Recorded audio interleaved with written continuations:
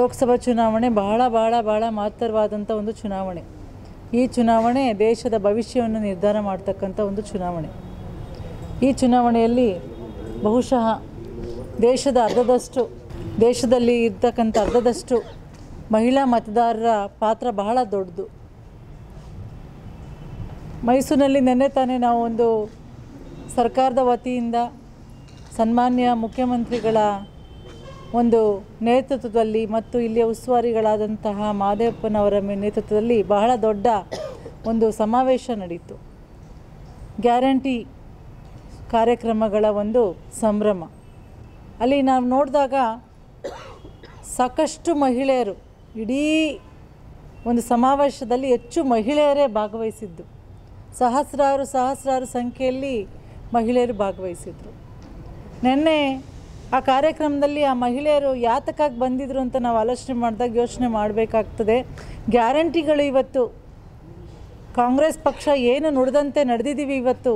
ನಮ್ಮ ಸರ್ಕಾರ ಬಂದ ತಕ್ಷಣ ಐದು ಗ್ಯಾರಂಟಿಯನ್ನು ಕೊಡ್ತೀವಿ ಅಂತೇಳಿ ನಾವು ಏನು ಭರವಸೆಯನ್ನು ಕೊಟ್ಟಿದ್ವಿ. ಸಿದ್ದರಾಮಯ್ಯನವರು ಇವತ್ತು ಇಡೀ ದೇಶದಲ್ಲೇ ಗ್ಯಾರಂಟಿ ರಾಮಯ್ಯ ಅನ್ನೋ ಒಂದು ಹೆಸರನ್ನು ಕೂಡ ಈ ಒಂದು ಸಂದರ್ಭದಲ್ಲಿ ಪಡ್ಕೊಂಡಿದ್ದಾರೆ ಅನ್ನೋದನ್ನು ನಾನು ಹೇಳಬೇಕಾಗ್ತದೆ. ಕರ್ನಾಟಕದ ಮಾಡೆಲ್ ಕರ್ನಾಟಕದ ಮಾದರಿ ಕರ್ನಾಟಕದ ರಾಜ್ಯದ ಮಾದರಿಯನ್ನು ಇವತ್ತು ಬಿ ಜೆ ಪಿಯ ಮೋದಿ ಸರ್ಕಾರ ಕೂಡ ಕಾಪಿ ಮಾಡಿರ್ತಕ್ಕಂಥದ್ದು ನಾವೆಲ್ಲರೂ ನೋಡ್ತಾ ಇರ್ತಕ್ಕಂಥ ಒಂದು ವಿಚಾರ. ನಾವು ಗ್ಯಾರಂಟಿಗಳನ್ನು ನಾವು ಹೇಳಿದಾಗ ಭಾಳ ಲೇವಡಿ ಮಾಡಿದ್ರು. ಹೆಂಗೆ ಇವರು ಫ್ರೀ ಬೀಸ್ ಕೊಟ್ಬಿಡ್ತಾರೆ ಅಂಥೇಳಿ ಆದರೆ ಇವತ್ತು ಕಣ್ಮುಂದೆ ಇದೆ ಉದಾಹರಣೆ. ನಾವು ಬಂದು ಅಧಿಕಾರಕ್ಕೆ ಬಂದು ಸುಮಾರು ಹತ್ತು ತಿಂಗಳಾಗ್ತಾ ಇದೆ. ಇಷ್ಟರಲ್ಲೇ ನಾವು ಐದು ಗ್ಯಾರಂಟಿಗಳನ್ನು ಇವತ್ತು ನಾವು ಜಾರಿ ಮಾಡಿ ಎಲ್ಲರಿಗೂ ಕೂಡ ನುಡಿದಂತೆ ನಡೆದಂಥ ಭರವಸೆಯನ್ನು ಉಳಿಸ್ಕೊಂಡಿದ್ದೀವಿ. ಕರ್ನಾಟಕದ ಕನ್ನಡ ನಾಡಿನ ಜನರ ಒಂದು ಆಶಯದಂತೆ ಅವರ ಒಂದು ಶ್ರೀರಕ್ಷೆಯಿಂದ ಏನು ಇವತ್ತು ಕರ್ನಾಟಕದಲ್ಲಿ ಕಾಂಗ್ರೆಸ್ ಸರ್ಕಾರ ಬಂದಿದೆ, ಅದು ತನ್ನ ಒಂದು ಭರವಸೆಯನ್ನು, ಭಾಷೆಯನ್ನು ಉಳಿಸ್ಕೊಂಡು ಎಲ್ಲ ಐದು ಗ್ಯಾರಂಟಿಗಳನ್ನು ಇವತ್ತು ಜಾರಿ ಮಾಡಿದೆ. ಮೋದಿಕಾ ಗ್ಯಾರಂಟಿ ಅಂತೇಳಿ ಇವತ್ತು ಮೋದಿ ಹೆಸರಿನಲ್ಲಿ ಗ್ಯಾರಂಟಿಯನ್ನು ಕೊಡಲಿಕ್ಕೆ ಹೊರಟಿದೆ ಬಿ ಜೆ ಪಿ ಸರ್ಕಾರ, ಕೇಂದ್ರ ಸರ್ಕಾರ. ನಂದ, ನಂದು ಒಂದು ಮುಖ್ಯವಾದಂಥ ಪ್ರಶ್ನೆ ಮೋದಿ ಸರ್ಕಾರಕ್ಕೆ ಮತ್ತು ಬಿ ಜೆ ಪಿ ನಾಯಕರುಗಳಿಗೆ ಮತ್ತು ಸಂಸತ್ ಚುನಾವಣೆಗೆ ಹೋಗ್ತಕ್ಕಂಥ ಎಲ್ಲ ಸಂಸತ್ ಅಬ್, ಅಭ್ಯರ್ಥಿಗಳಿಗೆ ಬಿ ಜೆ ಪಿ ಅಭ್ಯರ್ಥಿಗಳಿಗೆ ನಂದೊಂದು ನೇರವಾದ ಪ್ರಶ್ನೆ ಇದೆ. ನೀವು ಮೋದಿಕಾ ಗ್ಯಾರಂಟಿ ಅಂತ ಯಾರಿಗೆ ಆಶ್ವಾಸನೆಯನ್ನು ಕೊಡ್ತಾ ಇದ್ದೀರಿ? ಗ್ಯಾರಂಟಿ ಕೊಡ್ತೀವಿ, ನಮ್ಗೆ ಅಧಿಕಾರ ಕೊಡಿ ಅಂತ ಯಾರು ಹೇಳ್ತಾರೆ? ಯಾರು ಅಧಿಕಾರದಲ್ಲಿಲ್ಲ? ಅವ್ರು ಚುನಾವಣೆಗೆ ಹೋಗ್ತಾ ಇರ್ತಾರೆ, ಅವರು ನಮ್ಗೆ ಅಧಿಕಾರ ಕೊಡಿ, ನಾವು ಅಧಿಕಾರಕ್ಕೆ ಬಂದರೆ ಈ ಗ್ಯಾರಂಟಿಯನ್ನು ಕೊಡ್ತೀವಿ ನಿಮಗೆ ಅಂತೇಳಿ ಆಶ್ವಾಸನೆಯನ್ನು ಕೊಡೋದು ವಾಡಿಕೆ. ಇಲ್ಲಿ ಭಾಳ ವಿಪರ್ಯಾಸ ಮತ್ತು ಭಾಳ ವಿಚಿತ್ರ ಅಂತ ಅಂದರೆ ಸರ್ಕಾರದಲ್ಲಿ ಇರ್ತಕ್ಕಂಥ ಒಂದು ಪಕ್ಷ, ಅಧಿಕಾರದಲ್ಲಿ ಇರ್ತಕ್ಕಂಥ ಒಂದು ಪಕ್ಷ ಆಲ್ರೆಡಿ ಅಧಿಕಾರದಲ್ಲಿದೆ. ಅದು ಮತ್ತೆ ಜನರನ್ನು ಕೇಳ್ತಾ ಇದೆ, ನೀವು ನಮ್ಮನ್ನು ಆರಿಸಿ ತನ್ರಿ ನಾವು ನಿಮ್ಗೆ ಗ್ಯಾರಂಟಿ ಕೊಡ್ತೀವಿ ಅಂತೇಳಿ. ಇದು ನಗಬೇಕು ಅಳಬೇಕೋ ಗೊತ್ತಾಗ್ತಾ ಇಲ್ಲ ನಿಮಗೆ ಹತ್ತು ವರ್ಷಗಳಿಂದ ಅಧಿಕಾರದಲ್ಲಿ ಇರ್ತಕ್ಕಂಥ ಬಿ ಜೆ ಪಿ ಕೇಂದ್ರ ಸರ್ಕಾರದ ನಾಯಕರು ಇವತ್ತು ಮೋದಿ ಗ್ಯಾರಂಟಿ ಅಂತ ಯಾಕೆ ಅನೌನ್ಸ್ ಮಾಡಬೇಕಾಗಿತ್ತು? ಅಧಿಕಾರ ಕೊಟ್ಟಿಲ್ವ ಹತ್ತು ವರ್ಷದಿಂದ ನಿಮಗೆ ಜನ? ಹತ್ತು ವರ್ಷದಿಂದ ಸುಮ್ಮನೆ ಕೂತಿದ್ರ? ಖಾಲಿ ವಿರೋಧ ಪಕ್ಷದಲ್ಲಿದ್ರ ನೀವು? ಇವಾಗ ಗ್ಯಾರಂಟಿ ಮಾಡ್ತೀವಿ ಅಂತ ಬರಲಿಕ್ಕೆ? ನಾಚಿಕೆ ಆಗ್ತಾ ಇಲ್ವಾ ನಿಮಗೆ? ನೀವು ಕೊಟ್ಟಿದ್ದ ಭರವಸೆ ಒಂದಾರು ಈಡೇರಿಸಿದ್ದೀರಾ? ಎರಡು ಸಾವಿರದ ಹದಿಮೂರರ ಎಲೆಕ್ಷನಲ್ಲಿ ಕೊಟ್ಟಂಥ ಭರವಸೆ ಈಡೇರಿಸಿದ್ದೀರಾ? ನೋಡಿ ಎಷ್ಟು ಭರವಸೆಗಳನ್ನ ಪ್ರಣಾಳಿಕೆ ತೆಗೆದು ನೋಡ್ರಿ ನೀವು. ಮಹಿಳಾ ಮೀಸಲಾತಿನ ಅವತ್ತೇ ಜಾರಿ ಮಾಡ್ತೀವಿ ಅರವತ್ತು ದಿನದಲ್ಲಿ ಅಂತ ಭಾಷೆ ಕೊಟ್ಟಿದ್ರು ಪ್ರಧಾನಮಂತ್ರಿಗಳು ಭಾಷಣದಲ್ಲಿ. ಇವತ್ತು ಎಷ್ಟು ದಿನ ಆಗಿದೆ? ಹತ್ತು ವರ್ಷಗಳಾಗಿದೆ. ಹತ್ತು ವರ್ಷಗಳಂದರೆ ನನ್ನ ಲೆಕ್ಕದಲ್ಲಿ ಬಹುಶಃ ನಾಲ್ಕೂವರೆ ಸಾವಿರ ದಿನ ಕಳೆದೋಗಿದೆ ಇವತ್ತು. ಅರವತ್ತು ದಿನ ಕಳೆದು ಬಿಟ್ಟು ಬಿಡ್ರಿ ನೀವು. ಎಷ್ಟು ವರ್ಷಗಳಾಗೋಯ್ತು? ಹತ್ತು ವರ್ಷ ಬೇಕಾಯ್ತಾ ಮಹಿಳಾ ಮೀಸಲಾತಿ ತರಲಿಕ್ಕೆ ನಿಮಗೆ? ಈಗ ಗ್ಯಾರಂಟಿ ಏನು ಕೊಡ್ಲಿಕ್ಕೆ ಬರ್ತೀರಿ? ಈಗ ಹೆಂಗೆ ನಿಮ್ಮ ಮಾತನ್ನು ನಂಬೋದು? ನೀವು ಬರೀ ಸುಳ್ಳೆ ಗ್ಯಾರಂಟಿ ಕೊಡೋದು, ಸುಳ್ಳೆ ಭರವಸೆ ನಿಮ್ಗೆ ಕೊಡೋದು ಅನ್ನೋದನ್ನ ಜನ ಅರ್ತ್ಕೊಬಿಟ್ಟಿದ್ದಾರೆ ಇವತ್ತು. ಹದಿನೈದು ಲಕ್ಷ ಪ್ರತಿಯೊಬ್ಬರ ಅಕೌಂಟ್ಗೆ ಸ್ವಿಸ್ ಬ್ಯಾಂಕಿಂದ ತಂದು ಕಪ್ಪು ಹಣ ತಂದು ಹಾಕ್ಬಿಡ್ತೀವಿ ಅಂದ್ರಲ್ಲ, ಆ ಗ್ಯಾರಂಟಿ ಏನಾಯ್ತು ಸ್ವಾಮಿ? ಎಲ್ಲೋಯ್ತು ನಿಮ್ಮ ಗ್ಯಾರಂಟಿ ಅದು? ಎಲ್ಲಿ ಅದು ಭರವಸೆ, ಎಲ್ಲಿ? ನಿಮ್ಮ ಪ್ರಣಾಳಿಕೆಯಲ್ಲಿ ಇದ್ದದ್ದು ಅದು ಅಂಶ ಅದೇನೋ? ಹದಿನೈದು ಲಕ್ಷ ನಿಮ್ಮ ಹುಂಡಿಗಳಿಗೆ ಹಾಕ್ಬಿಡ್ತೀವಿ, ನಿಮ್ಮ ಅಕೌಂಟ್ಗಳಿಗೆ ಅಂತ. ಜನ್ಧನ್ ಅಕೌಂಟ್ ಮಾಡಿಸಿದ್ರಿ. ಒಂದು ರೂಪಾಯಿ ಬಂದು ಇಲ್ಲ. ಇನ್ಯಾ ಭರವಸೆಯಲ್ಲಿ ಇವತ್ತು ಓಟ್ ಕೇಳಕ್ಕೆ ಬರ್ತಾ ಇದ್ದೀರಾ? ನಮಗೊಂದು ಅವಕಾಶ ಕೊಟ್ಟು ನೋಡಿ. ಖಂಡಿತ ಈ ಎಲ್ಲ ಐದು ಗ್ಯಾರಂಟಿಗಳನ್ನ ಜಾರಿ ಮಾಡ್ತೀವಿ ಅನ್ನೋ ಒಂದು ಭರವಸೆಯನ್ನು ಈ ಸಂದರ್ಭದಲ್ಲಿ ವ್ಯಕ್ತಪಡಿಸ್ತಾ, ಮೊನ್ನೆ ತಾನೇ ನಮ್ಮ ನಾಯಕರಾದಂತಹ ಮಲ್ಲಿಕಾರ್ಜುನ್ ಖರ್ಗೆ ಸಾಹೇಬರು ಮತ್ತು ರಾಹುಲ್ ಗಾಂಧಿ ಅವರು ನ್ಯಾರಿ ನ್ಯಾಯ ಅನ್ನೋ ಹೆಸರಿನಲ್ಲಿ ಐದು ಗ್ಯಾರಂಟಿಗಳನ್ನು ಮಹಿಳೆಯರಿಗಾಗಿ ಅನೌನ್ಸ್ ಮಾಡಿದ್ದಾರೆ. ಅದನ್ನು ನಾನು ತಮ್ಮ ಮುಂದೆ ಹೇಳಲಿಕ್ಕೆ ಇಚ್ಛಿಸ್ತೀನಿ. ಇವತ್ತು ಅರ್ಧದಷ್ಟು ಮಹಿಳೆ ಮತದಾರ ಇದ್ದೀವಿ ನಾವು. ಖಂಡಿತ ಇವತ್ತು ನಮ್ಮ ಜೀವನ ಸರಿ ಹೋಗ್ಬೇಕಂದ್ರೆ ಕೇಂದ್ರದಲ್ಲಿ ಕಾಂಗ್ರೆಸ್ ಸರ್ಕಾರದಂಥ ಬದ್ಧತೆ ಇರತಕ್ಕಂಥ ಸರ್ಕಾರ ಬರಬೇಕಾದಂಥ ಅವಶ್ಯಕತೆ ಇವತ್ತಿದೆ. ಸಂವಿಧಾನವನ್ನು ರಕ್ಷಣೆ ಮಾಡ್ತಕ್ಕಂಥ ಒಂದು ಸರ್ಕಾರ ಬಂದರೆ ನಾವೆಲ್ಲರೂ ಕೂಡ ಇನ್ನೊಂದಷ್ಟು ನೆಮ್ಮದಿಯಾಗಿ ಬದುಕನ್ನು ಸಾಗಿಸ್ಬೋದು ಅನ್ನೋದು ನಮ್ಮೆಲ್ಲರ ಇಚ್ಛೆ. ನಮ್ಮ ಭವಿಷ್ಯ ಕತ್ಲಾಗಿದೆ. ಇವತ್ತು ಕರ್ನಾಟಕಕ್ಕೆ ಆಗ್ತಾ ಇರ್ತಕ್ಕಂಥ ಅನ್ಯಾಯವನ್ನು ಸರಿ ಮಾಡಬೇಕಂದ್ರೆ ಕರ್ನಾಟಕದಿಂದ ಕನ್ನಡ ಕನ್ನಡ ನಾಡಿನ ಪರವಾಗಿ ಧ್ವನಿ ಎತ್ತಕ್ಕಂತಹ ಸಂಸದರನ್ನ ನಾವು ಆಯ್ಕೆ ಮಾಡಿ ಕಳಿಸ್ಬೇಕು. ಯಾಕಂದರೆ ಇಷ್ಟು ದಿನ ಗೆದ್ದಿದ್ದಂತಹ ಬಿ ಜೆ ಪಿ ಸಂಸದರು ಒಬ್ಬರೂ ಕೂಡ ಒಂದಿನೂ ನಮ್ಮ ರಾಜ್ಯಕ್ಕೆ ಆದಂಥ ಅನ್ಯಾಯವನ್ನು ಪ್ರಶ್ನೆ ಮಾಡಲಿಲ್ಲ. ಇವತ್ತು ಆ ದಿನ ಬಂದಿದೆ. ಈ ಒಂದು ಚುನಾವಣೆಯಲ್ಲಿ ನಮ್ಮ ಪರವಾಗಿ ಧ್ವನಿ ಎತ್ತಕ್ಕಂತಹ ನಾಯಕರನ್ನ ಆರಿಸಿ ಕಳಿಸ್ತಕ್ಕಂತಹ ಜವಾಬ್ದಾರಿ ಕನ್ನಡ ನಾಡಿನ ಜನರ ಮೇಲಿದೆ. ನಾನು ನನ್ನ ಮಹಿಳಾ ಮತದಾರರಲ್ಲಿ ನಾನು ಕೇಳ್ಕೊಳ್ಳೋದಿಷ್ಟೇ ಇವತ್ತು ಚುನಾವಣೆ ಘೋಷಣೆ ಆಗ್ತಿದೆ. ಚುನಾವಣೆ ಸಂದರ್ಭದಲ್ಲಿ ಮಾತನಾಡ್ತಕ್ಕಂಥ ವಿಚಾರವಲ್ಲ ಇದು. ಹತ್ತು ತಿಂಗಳಿಂದ ನೀವು ನಮ್ಮ ಸರ್ಕಾರ ಯಾವ ರೀತಿ ಕರ್ನಾಟಕದ ಮಾಡೆಲ್ ಯಾವ ರೀತಿ ಕೆಲಸ ಮಾಡ್ತಿದೆ ಅನ್ನೋದನ್ನು ನೋಡಿದ್ದೀರಾ ಕೇಂದ್ರದಲ್ಲಿ ಕೂಡ ನಮಗೆ ಅಧಿಕಾರಕ್ಕೆ ತಂದರೆ ನಾವೇನು ನಿಮಗೆ ಕೊಡ್ತೀವಿ ಅನ್ನೋ ನಾನು ವಿಚಾರವನ್ನು ಕೂಡ ಈ ಸಂದರ್ಭದಲ್ಲಿ ನಾನು ಹಂಚ್ಕೊಳ್ಳೋಕ್ಕೆ ಇಚ್ಛಿಸ್ತೇನೆ. ಒಂದು ನಾರಿ ನ್ಯಾಯದ ಅಡಿನಲ್ಲಿ ಗ್ಯಾರಂಟಿ ನಂಬರ್ ಒನ್ ಏನು ಕೊಡ್ತಾ ಇದ್ದೀವಿ ಅಂದರೆ ಮಹಾಲಕ್ಷ್ಮಿ ಗ್ಯಾರಂಟಿ ಅಂತೇಳಿ. ಕರ್ನಾಟಕದಲ್ಲಿ ಗೃಹಲಕ್ಷ್ಮಿಯನ್ನು ಘೋಷಣೆ ಮಾಡಿದಂತಹ ನಮ್ಮ ಕಾಂಗ್ರೆಸ್ ಸರ್ಕಾರ ಇವತ್ತು ಕಾಂಗ್ರೆಸ್ ಪಕ್ಷದ ನೇತೃತ್ವದಲ್ಲಿ ಕೇಂದ್ರದಲ್ಲಿ ನಾವು ಅಧಿಕಾರಕ್ಕೆ ಬಂದರೆ ನಾರಿ ನ್ಯಾಯದ ಒಂದು ಅಡಿನಲ್ಲಿ ಮಹಾಲಕ್ಷ್ಮಿ ಗ್ಯಾರಂಟಿ ಒಂದು ಲಕ್ಷ ಒಂದು ಲಕ್ಷ ಪ್ರತಿ ಬಡ ಕುಟುಂಬಗಳಿಗೆ ವರ್ಷಕ್ಕೆ ಒಂದು ಲಕ್ಷ ರೂಪಾಯಿಯನ್ನು ಕೊಡ್ತೇವೆ ಅನ್ನೋದನ್ನು ನಾವೀಗಾಗಲೇ ಘೋಷಣೆಯನ್ನು ಮಾಡಿದ್ದೇವೆ.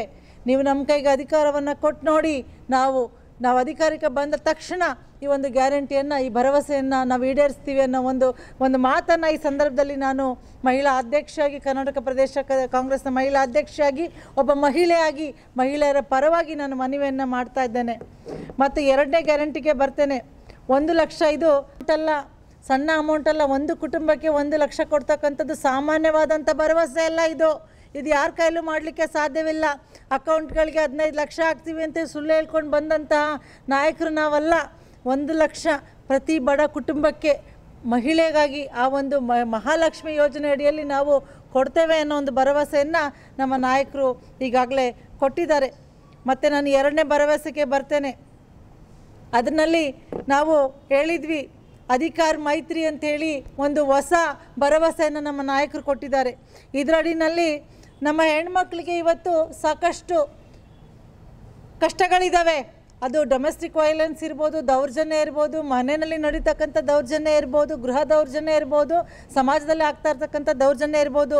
ಅದಕ್ಕೆ ಅವ್ರಿಗೆ ವಿವೇಚನೆಯನ್ನು ಕೊಡಲಿಕ್ಕೆ, ಅವ್ರಿಗೆ ಜ್ಞಾನವನ್ನು ಕೊಡಲಿಕ್ಕೆ ನಾವು ಮತ್ತು ಕಾನೂನಿನ ಒಂದು ಬೆಂಬಲವನ್ನು ಕೊಡಲಿಕ್ಕೆ ಅಧಿಕ, ಅಧಿಕಾರ ಮೈತ್ರಿ ಅಂತೇಳಿ ನಾವು ಎಲ್ಲ ಕಡೆ ಅಂದರೆ ಎಜುಕೇಟ್ ವುಮೆನ್ನ ಎಜುಕೇಟ್ ಮಾಡಲಿಕ್ಕೆ ನಾವು ಪ್ರತಿಯೊಂದು ಪಂಚಾಯಿತಿ ಮಟ್ಟದಲ್ಲಿ, ಪ್ರತಿಯೊಂದು ಪಂಚಾಯಿತಿ ಮಟ್ಟದಲ್ಲಿ ಒಬ್ಬೊಬ್ಬರು ಒಬ್ಬೊಬ್ಬರು ನ್ಯಾಯವನ್ನು ನ್ಯಾಯವಾದಿಗಳನ್ನು ನಾವು, ಅಂದರೆ ವಕೀಲರನ್ನು ನೇಮಕ ಮಾಡೋದ್ರ ಮುಖಾಂತರ ಅವ್ರಿಗೆ ನ್ಯಾಯದ ಒಂದು ಅಸಿಸ್ಟನ್ನು ನ್ಯಾಯದ ಒಂದು ಬೆಂಬಲವನ್ನು ಕೊಡಲಿಕ್ಕೆ ನಾವು ಆಲೋಚನೆಯನ್ನು ಮಾಡಿದೆ ನಮ್ಮ ನಮ್ಮ ಕಾಂಗ್ರೆಸ್ನ ಪಕ್ಷದ ನಮ್ಮ ಭರವಸೆಯಲ್ಲಿ, ಪ್ರಣಾಳಿಕೆಯಲ್ಲಿ ಇದು ಬಹಳ ಮುಖ್ಯ.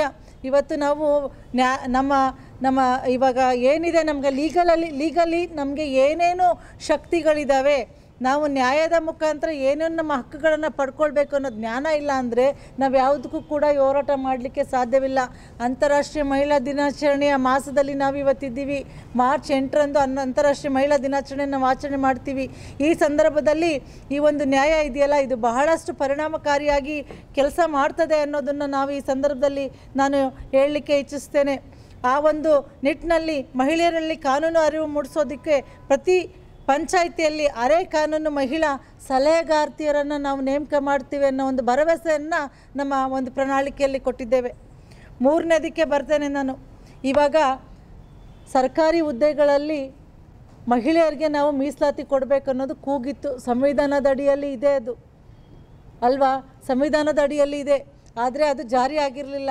ನಾವು ಅಧಿಕಾರಕ್ಕೆ ಬಂದ ತಕ್ಷಣ ಎಲ್ಲ ಸರ್ಕಾರಿ ಉದ್ಯೋಗದ ಅಡಿಯಲ್ಲಿ ನಾವು ಎಲ್ಲ ಸರ್ಕಾರಿ ಉದ್ಯೋಗದ ಉದ್ಯೋಗದ ಕ್ಷೇತ್ರಗಳಲ್ಲಿ, ಎಲ್ಲ ಕ್ಷೇತ್ರಗಳಲ್ಲೂ ಕೂಡ ಫಿಫ್ಟಿ ಪರ್ಸೆಂಟ್ ಯಾಕಂದರೆ ನಾವು ಮಹಿಳಾ ಮತದಾರರು ಐವತ್ತು ಪರ್ಸೆಂಟ್ ಇದ್ದೇವೆ ಇವತ್ತು. ಮಹಿಳಾ ಮತ್ತು ಮಹಿಳೆಯರು ಐವತ್ತು ಪರ್ಸೆಂಟ್ ಇದ್ದೀವಿ. ಅಂಬೇಡ್ಕರ್ ಅವರು ಹೇಳ್ತಾರೆ, ಆ ಒಂದು ದೇಶದ, ಆ ಒಂದು ಪ್ರದೇಶದ ಪ್ರಗತಿಯನ್ನು, ಅಭಿವೃದ್ಧಿಯನ್ನು ನಾವು ಹೇಗೆ ಅಳಿಲಿಕ್ಕೆ ಸಾಧ್ಯ ಅಂದರೆ, ಅಲ್ಲಿಯ ಮಹಿಳೆಯರು ಯಾವ ರೀತಿ ಪ್ರಗತಿ ಹೊಂದಿದ್ದಾರೆ, ಅದರ ಒಂದು ಅಳತೆ ಮೂಲಕ ನಾವು ಅಳಿಲಿಕ್ಕೆ ಸಾಧ್ಯ ಅಂತ ಅಂಬೇಡ್ಕರ್ ಅವರು ಒಂದು ಮಾತನ್ನು ಹೇಳ್ತಾರೆ. ಅದನ್ನು ನಂಬಿರ್ತಕ್ಕಂಥ ಕಾಂಗ್ರೆಸ್ ಪಕ್ಷ ಇವತ್ತು ಅದನ್ನು ನೆನಸು ಮಾಡಿಸ್ಲಿಕ್ಕೆ ಹೊರಟಿದೆ, ಕನಸನ್ನು ನೆನಸು ಮಾಡಲಿಕ್ಕೆ ಹೊರಟಿದೆ. ಇವತ್ತು ಎಲ್ಲ ಕ್ಷೇತ್ರಗಳಲ್ಲಿ, ಉದ್ಯೋಗ ಕ್ಷೇತ್ರಗಳಲ್ಲಿ ಮಹಿಳೆಯರಿಗೆ ಕಡ್ಡಾಯವಾಗಿ ನಾವು ಅಧಿಕಾರಕ್ಕೆ ಬಂದ ದಿನದಿಂದ ಐವತ್ತು ಪರ್ಸೆಂಟ್ ಮೀಸಲಾತಿ. ಇದು ಹುಡುಗಾಟದ ಒಂದು ವಿಚಾರವಲ್ಲ. ಈಗ ನಿಮ್ಮ ಮನೆ ಮಕ್ಕಳು, ನಿಮ್ಮ ಮನೆ ಹೆಣ್ಣುಮಕ್ಕಳು ನಿಮ್ಮ ಮನೇಲಿ ಇರ್ತಕ್ಕಂಥ ಹೆಣ್ಣು ಮಕ್ಕಳು ಎಲ್ರಿಗೂ ಕೂಡ ಉದ್ಯೋಗ ಒಂದು ಅವಕಾಶ ಸಿಗ್ತದೆ ಅಂದರೆ ಆ ಒಂದು ಹೆಣ್ಣು ಮಗಳ ಒಂದು ಅಭಿವೃದ್ಧಿ ಆಗುತ್ತೆ, ಅವಳ ಸಶಕ್ತೀಕರಣವಾಗ್ತದೆ ಅನ್ನೋದನ್ನು ನಾವು ಇವತ್ತು ಆಲೋಚನೆ ಮಾಡಬೇಕಾಗಿದೆ. ಇದು ಭಾಳ ಪ್ರಮುಖವಾದಂಥ ಒಂದು ಭರವಸೆ ನಮ್ಮದು ಗ್ಯಾರಂಟಿ. ನ್ಯಾರಿ ನ್ಯಾಯದ ಅಡಿಯಲ್ಲಿ ನಾರಿ ನ್ಯಾಯ ಅಂದರೆ ಮಹಿಳೆಯರಿಗೆ ನ್ಯಾಯ ಕೊಡಬೇಕು ಅನ್ನೋದೇ ನಮ್ಮೆಲ್ಲರ ಕನಸು. ನಮ್ಮ ನಮ್ಮ ನಾಯಕರ ಕನಸು. ಆ ನಿಟ್ಟಿನಲ್ಲಿ ಇವತ್ತು ಮಹಿಳಾ ಪರವಾದಂಥ ಆಲೋಚನೆಯನ್ನು ಇಟ್ಕೊಂಡಿರ್ತಕ್ಕಂತಹ ನಮ್ಮ ಪಕ್ಷ ಈ ಒಂದು ಗ್ಯಾರಂಟಿಯನ್ನು ಇವತ್ತು ಡಿಕ್ಲೇರ್ ಮಾಡಿದ್ದೇವೆ ನಾವು. ನಾನಿವತ್ತು ಕೇಳಲಿಕ್ಕೆ ಇಚ್ಛಿಸ್ತೀನಿ ಬಿ ಜೆ ಪಿ ನಾಯಕರಿಗೆ, ಬೇಟಿ ಬಚಾವೋ, ಬೇಟಿ ಪಡಾವೋ ಒಂದು ಹೇಳಿಕೆಯನ್ನು ಕೊಟ್ಕೊಂಡು ಅಧಿಕಾರಕ್ಕೆ ಬಂದ್ರಲ್ಲ, ಏನು ಕೊಟ್ಟಿದ್ದೀರಾ ಅವತ್ತಿಂದ ಅದು ಬಿಟ್ಟರೆ ಆ ಸ್ಲೋಗನ್ ಬಿಟ್ಟರೆ ಆ ಸ್ಲೋಗನ್ ಅಡಿಯಲ್ಲಿ ಎಷ್ಟು ಹೆಣ್ಮಕ್ಳನ್ನ ನೀವು ಬಚಾವ್ ಮಾಡಿದ್ದೀರಾ ಎಷ್ಟು ಹೆಣ್ಮಕ್ಳನ್ನ ಪಡಾವ್ ಮಾಡಿದ್ದೀರಾ ಅನ್ನೋದು ನನ್ನ ಪ್ರಶ್ನೆ. ಸುಳ್ಳು ಭರವಸೆ ಅದು ನಾಮಕಾವಸ್ಥೆ ಭರವಸೆ. ಅಲ್ಲಿರ್ತಕ್ಕಂಥ ಸಂಸದರು ಕೂಡ ಯಾರು ಮಾತನಾಡೋದೇ ಇಲ್ಲ, ಮಹಿಳೆಯರು ಕೂಡ ಮಾತನಾಡೋದಿಲ್ಲ. ಶೋಭಕ ಇರಲಿ ಅಥವಾ ಶಶಿಕಲಾ ಜೊಲ್ಲೆ ಅವರು ಇರಲಿ, ಯಾರು ಮಾತನಾಡೋದೇ ಇಲ್ಲ, ಮಹಿಳೆಯರ ವಿಚಾರಕ್ಕೆ ಬಂದರೆ ಅವರು ಬಾಯ ತೆಗೆಯೋದೇ ಇಲ್ಲ ಇವತ್ತು ನಾವು ಹೇಳ್ತೀವಿ, ಇವತ್ತು ನಾವು ಅಧಿಕಾರಕ್ಕೆ ಬಂದರೆ ಮಹಿಳೆಯರಿಗೆ ಫಿಫ್ಟಿ ಪರ್ಸೆಂಟ್ ರಿಸರ್ವೇಷನ್ನು ಉದ್ಯೋಗ ಕ್ಷೇತ್ರಗಳಲ್ಲಿ ಕೊಡ್ತೀವಿ ಅನ್ನೋ ಭರವಸೆಯನ್ನು ಕೊಟ್ಟಿದ್ದೇವೆ. ಇದು ನಾವು ನುಡಿದಂತೆ ನಡಿತೀವಿ. ನಮಗೆ ಅಧಿಕಾರಕ್ಕೆ ಬಂದ ದಿನದಿಂದಲೇ ನಾವು ಕೊಡ್ತೇವೆ. ಹಂಗಾಗಿ ನೀವು ನಮಗೆ ಅಧಿಕಾರಕ್ಕೆ, ಅಧಿಕಾರ ಕೊಡಬೇಕು. ನಮಗೆ ಮತವನ್ನು ಹಾಕಬೇಕು ಅನ್ನೋ ಒಂದು ವಿಚಾರವನ್ನು ಈ ಸಂದರ್ಭದಲ್ಲಿ ನಾನು ಹೇಳಲಿಕ್ಕೆ ಇಚ್ಛಿಸ್ತೀನಿ. ಮತ್ತು ನಾನು ನಾಲ್ಕನೇ ಒಂದು ವಿಚಾರಕ್ಕೆ ಬರ್ತೇನೆ. ಅದರಲ್ಲಿ ನಿಮಗೆ ಗೊತ್ತಿರೋಂಗೆ ಅಂಗನವಾಡಿ ಬಿಸಿಯೂಟ ಮತ್ತು ಆಶಾ ಕಾರ್ಯಕರ್ತರಿಗೆ ತಿಂಗಳ ಸಂಬಳ ಸಾಲ್ತಾ ಇಲ್ಲ ಅಂಥೇಳಿ ಅವ್ರು ಯಾವಾಗಲೂ ಕೂಡ ಧರಣಿಯನ್ನು ಕೂರ್ತಾ ಇದ್ರು. ಅವರು ಸಾಕಷ್ಟು ಕೆಲಸಗಳನ್ನು ಮಾಡ್ತಾರೆ. ಎರಡೇ, ಎರಡನೇ ತಾಯಂದಿರ್ತಾರ ನಮಗೆ ಕೆಲಸವನ್ನು ಮಾಡಿಕೊಡ್ತಾರೆ. ಮಕ್ಕಳ ಆರೋಗ್ಯ, ಮಹಿಳೆಯರ ಆರೋಗ್ಯದಲ್ಲಿ ಅವಳ, ಅವರ ಪಾತ್ರ ಬಹಳ ದೊಡ್ಡದು. ಅವರ ಒಂದು ಬೇಡಿಕೆ ಏನಿತ್ತು, ಬಹುದಿನಗಳ ಬೇಡಿಕೆ, ಅದನ್ನು ಈಡೇರಿಸಲಿಕ್ಕಾಗಿ ಇವತ್ತು ಆಶಾ ಕಾರ್ಯಕರ್ತರಿಗೆ ಅವರ ಸಂಬಳ ಏನಿತ್ತು, ಅದನ್ನು ದ್ವಿಗುಣವನ್ನು ಮಾಡಿ, ಡಬಲ್ ಮಾಡ್ತೀವಿ ಅನ್ನೋ ಒಂದು ಭರವಸೆಯನ್ನು ಕೊಡ್ತಾ ಇದ್ದೀವಿ ನಾವು. ಇದು ಬಹಳ ಮುಖ್ಯವಾದಂಥ ವಿಚಾರ. ಹೌದು ಅಲ್ವಾ, ನೀವು ಹೇಳಬೇಕು. ಯಾಕಂದರೆ ಆಶಾ ವರ್ಕರ್ಸ್ ಅವರ ಒಂದು ಪ್ರಾಬ್ಲಮ್ ಇದೆಯಲ್ಲ, ಅದನ್ನು ಕೇಂದ್ರ ಸರ್ಕಾರ ಅಥವಾ ಬಿ ಜೆ ಪಿ ನಾಯಕರು ಯಾವಾಗಲೂ ಕೂಡ ಅಗ್ರವಾಗಿ ತಗೊಂಡಿದ್ದಾರೆ. ಅವ್ರಿಗೆ ಯಾವಾಗಲೂ ಅವಮಾನ ಮಾಡ್ತಾ ಇದ್ದಾರೆ. ಅವ್ರಿಗೆ ನ್ಯಾಯವನ್ನು ಕೊಡ್ತಕ್ಕಂಥ ಕೆಲಸವನ್ನು ಯಾವಾಗಲೂ ಮಾಡಲೇ ಇಲ್ಲ. ಆ ನಿಟ್ಟಿನಲ್ಲಿ ಇವತ್ತು ಆಶಾ, ನನ್ನ ಸಹೋದರಿಯರಿಗೆ, ನಮ್ಮ ಏನು ಆಶಾ ಕಾರ್ಯಕರ್ತರಿದ್ದಾರೆ ಅವ್ರುಗಳಿಗೆ ನಾವು ಅವ್ರ ಸಂಬಳವನ್ನು ದ್ವಿಗುಣ ಮಾಡ್ತೀವಿ ಅನ್ನೋ ಭರವಸೆಯನ್ನು ನಾವು ನಾಲ್ಕನೇ ಭರವಸೆಯನ್ನು ಕೊಟ್ಟಿದ್ದೇವೆ ಇವತ್ತು. ಐದನೇ ಭರವಸೆಗೆ ನಾನು ಬರ್ತೀನಿ. ಅದು ಏನಂತಂದರೆ ಉದ್ಯೋಗ ಮಾಡ್ತಕ್ಕಂಥ ಮಹಿಳೆಯರಿದ್ದಾರೆ ಇವತ್ತು. ಎಷ್ಟೊಂದು ಜನ ಗ್ರಾಮೀಣ ಭಾಗದಿಂದ ಇವತ್ತು ನಗರ ಭಾಗಕ್ಕೆ ಬಂದು ವಾಸ ಮಾಡ್ತಿದ್ದಾರೆ. ಆದರೆ ಅವ್ರಿಗೆ ಜಿಲ್ಲೆನಲ್ಲಿ ಉಳಿಸ್, ಉಳ್, ಉಳ್ಕೊಳ್ಳೋಕ್ಕೆ ಯಾವುದೇ ವ್ಯವಸ್ಥೆ ಇಲ್ಲ. ಒಂದು ಸೆಕ್ಯೂರಿಟಿ ಇಲ್ಲ ಇವತ್ತು. ಮಹಿಳೆಯರ ರಕ್ಷಣೆ ಭಾಳ ಮುಖ್ಯ. ನಾವು ಭಾಳ ಮಹಿಳೆಯರ ರಕ್ಷಣೆ ಬಗ್ಗೆ ಮಾತಾಡ್ತೀವಿ. ಬೇಟಿ ಬಚಾವೋ, ಬೇಟಿ ಪಡೋ ಬರೀ ಮಾತಿನಲ್ಲ ಅದನ್ನು ಮಾಡಿ ತೋರಿಸ್ಲಿಕ್ಕೆ ಕಾಂಗ್ರೆಸ್ ಸರ್ಕಾರ ಇರೋದು ಅನ್ನೋದಕ್ಕೆ ಇದೊಂದು ಸಾಕ್ಷಿ ಇದೆ. ಉದ್ಯೋಗ ಮಾಡ್ತಕ್ಕಂಥ ಮಹಿಳೆಯರಿಗೆ ಪ್ರತಿ ಜಿಲ್ಲೆಗೆ ಸಾವಿತ್ರಿಬಾಯಿ ಪುಲೆ ಅವರ ಹೆಸರಿನಲ್ಲಿ ಒಂದೊಂದು ಹಾಸ್ಟೆಲ್ನೆಲ್ಲ ತೆಗಿತಕ್ಕಂಥ ಒಂದು ನಿರ್ಧಾರವನ್ನು ನಮ್ಮ ಭರವಸೆಯಲ್ಲಿ ನಾವು ಇವತ್ತು ಘೋಷಣೆಯನ್ನು ಮಾಡಿದ್ದೇವೆ. ಈ ಐದು ಭರವಸೆಗಳು ಕೂಡ ನಾವು ಬರೀ ಬಾಯಿ ಮಾತಿಗೆ ಹೇಳ್ತಾ ಇರ್ತಕ್ಕಂಥ ಭರವಸೆ ಅಲ್ಲ. ನಾರಿ ನ್ಯಾಯದ ಅಡಿಯಲ್ಲಿ ಮಹಿಳೆಯರಿಗೆ ನ್ಯಾಯವನ್ನು ಕೊಡಬೇಕು ಅನ್ನೋ ಒಂದು ನಿಟ್ಟಿನಲ್ಲಿ ನಮ್ಮ ಕಾಂಗ್ರೆಸ್ ಪಕ್ಷನ ಘೋಷಣೆ ಮಾಡಿರತಕ್ಕಂಥ ಈ ಒಂದು ಐದು ಗ್ಯಾರಂಟಿಗಳನ್ನು ನಾವು ಖಂಡಿತ ಈಡೇರಿಸೇ, ಈಡೇರಿಸ್ತೀವಿ ಅನ್ನೋ ಒಂದು ಮಾತನ್ನು ಈ ಸಂದರ್ಭದಲ್ಲಿ ಹೇಳಲಿಕ್ಕೆ ನಾನು ನನ್ನ ಮಾಧ್ಯಮದ ಸನ್ಮಿತ್ರಿಗೆ ನಾನು ಬಯಸ್ತೇನೆ. ನಾನು ಕೂಡ ಒಬ್ಬಳು ಪ್ರಬಲ ಆಕಾಂಕ್ಷಿ ಇದ್ದೀನಿ. ನನಗೂ ಟಿಕೆಟ್ ಸಿಗುವಂಥ ಎಲ್ಲ ನಿರೀಕ್ಷೆಗಳನ್ನ ಇಟ್ಕೊಂಡು ನಾನು ಇವತ್ತು ಕೆಲಸವನ್ನು ಮಾಡಿದ್ದೇನೆ ನಂಬಿಕೆಯನ್ನು ಇಟ್ಕೊಂಡಿದ್ದೀನಿ. ನಾನು ಕೂಡ ಸಂಸತ್ ಚುನಾವಣೆಗೆ ಸ್ಪರ್ಧೆ ಮಾಡ್ತಕ್ಕಂಥ ಎಲ್ಲ ಅರ್ಹತೆ ಇದೆ. ನನಗೂ ಕೂಡ ಕೊಡಿ ಅನ್ನೋದನ್ನು ನನ್ನ ಹೈಕಮಾಂಡಿಗೆ ಮತ್ತು ನಮ್ಮ ನಾಯಕರಾದಂಥ ಸನ್ಮಾನ ಸಿದ್ದರಾಮಯ್ಯನವ್ರಿಗೆ ಮತ್ತು ನಮ್ಮ ಉಸ್ತುವಾರಿಗಳು, ಆ ಚುನಾವಣೆ ಉಸ್ತುವಾರಿಗಳಾದಂಥ ಮಾದೇವ್ ಮಾದೇಪ್ಪನವ್ರಿಗೂ ಕೂಡ ನಾನು ಮನವರಿಕೆಯನ್ನು ಮಾಡಿಕೊಟ್ಟಿದ್ದೇನೆ. ಅವಕಾಶಗಳೇನು ಹೆಣ್ಮಕ್ಳಿಗೆ ಸಿಗೋದಿಲ್ಲ ಅನ್ನೋದಿಲ್ಲ ಆದರೆ ಒಂದು ತೊಡಕಿದೆ ನಮಗೆ. ಮಹಿಳಾ ಮೀಸಲಾತಿ ಜಾರಿ ನಾವು ಯಾರೂ ಕೂಡ ಘಂಟಾಘೋಷವಾಗಿ ನಾವು ಅಲ್ಲೋಗಿ ನಿಂತ್ಕೊಳ್ತೀವಿ ಅನ್ನೋದಕ್ಕೆ ಸಾಧ್ಯವಿಲ್ಲ. ಇವತ್ತು ಚುನಾವಣೆ ಅಂದರೆ ನಂಬರ್ ಗೇಮ್ ಅತಿ ಹೆಚ್ಚು ಟಿಕೆಟ್ಗಳನ್ನ ಏನಾದರೂ ಕೊಟ್ಟಿದ್ದರೆ ವಿಧಾನಸಭಾ ಚುನಾವಣೆಯಲ್ಲಿ ಅದು ನನ್ನ ಕಾಂಗ್ರೆಸ್ ಪಕ್ಷ. ಈ ಸಲನು ಈ ಸಲನು ಲೋಕಸಭಾ ಚುನಾವಣೆಗೆ ಅತಿ ಹೆಚ್ಚು ಟಿಕೆಟ್ಗಳನ್ನು ನನ್ನ ಕಾಂಗ್ರೆಸ್ ಪಕ್ಷವೇ ಕೊಡುತ್ತೆ ಅನ್ನೋ ಒಂದು ಭರವಸೆಯನ್ನು ನಾನು ನಿಮಗೆ ಕೊಡ್ತೇನೆ.